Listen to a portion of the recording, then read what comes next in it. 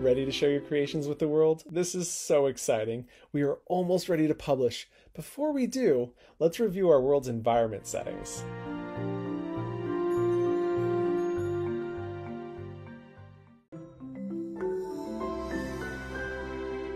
Did you know that you can check on your creations from your computer?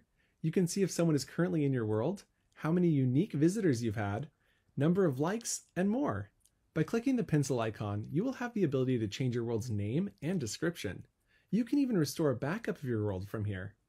This is also where you can get a link to share your world online.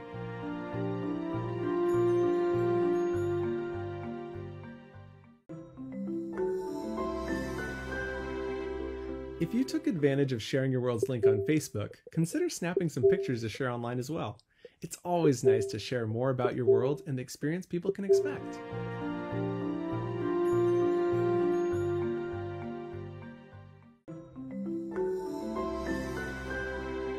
From the World tab, you will notice there is a slashed out globe icon.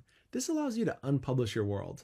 There are many reasons you may want to do this, like having a limited time event, testing for bugs with more users, or just wanting to archive your world.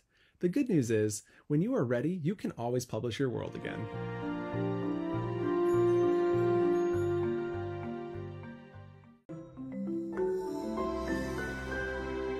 With our world ready for publishing, head to your Build menu and on the World tab in the top right is a globe icon. This allows you to publish your world.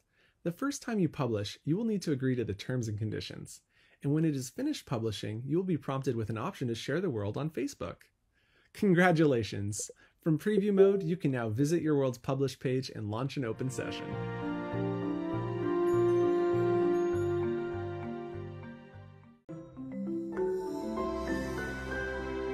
I always like to check the environment gizmo before publishing. If you have multiple, it's best to delete the others as it can cause visitors in your world to have different voice settings. You may consider trying different lighting for your world.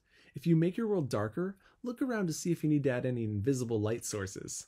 At the same time, consider adjusting your fog density and you can determine whether or not you want the grid left on. But the most important thing to check is your world's voice over IP settings. This makes sure visitors have a good auditory experience. Depending on the scale of your world, expected number of concurrent visitors, and what they will be doing, you may need to adjust your settings. Default is the standard vocal experience you've likely experienced in most worlds, including the Plaza. Global makes it so everyone can hear you in the world with a bit of direction. Nearby makes your voice behave more like a whisper, and Extended causes your voice to travel much further.